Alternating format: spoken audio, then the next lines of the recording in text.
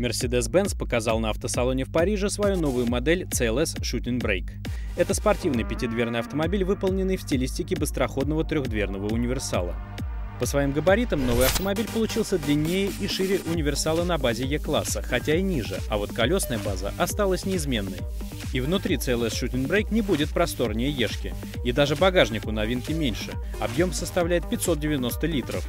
Однако новый Mercedes будет стоять на ступеньку выше обычного E-класса, и именно поэтому у него будут двери без рамок, всего два кресла на втором ряду, пневматическая подвеска и другие опции.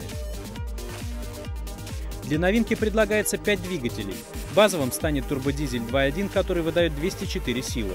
Также универсал получит трехлитровый дизельный агрегат мощностью 265 лошадиных сил. Бензиновая линейка насчитывает три мотора. Это 3,5-литровый 306-сильный двигатель, восьмерка 4.6 мощностью 408 сил и версия 63 AMG с турбированной восьмеркой 5.5 мощностью 525 лошадиных сил. Версия AMG также получит аэродинамический обвес, спортивную подвеску с регулировкой жесткости и возможность повышения мощности мотора до 557 сил.